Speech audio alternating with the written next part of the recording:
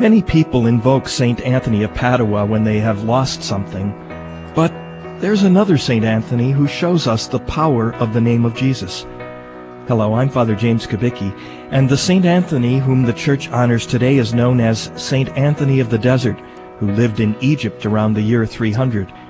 His life as a hermit monk in the desert must have agreed with him because he lived to the ripe old age of 105. Such a life may seem foreign to you, but every saint has something to teach us, and the following is a story from the biography that St. Athanasius, a contemporary of St. Anthony, wrote.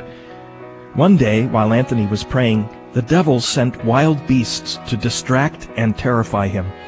They surrounded him and were ready to pounce on him. He stared at them boldly and said, If God gave you power over me, come quickly, for I'm ready for you.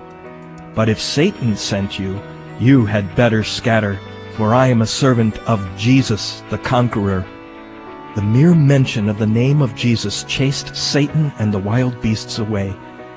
Another time, he fought a terrible vision by making the sign of the cross and invoking the name of Jesus.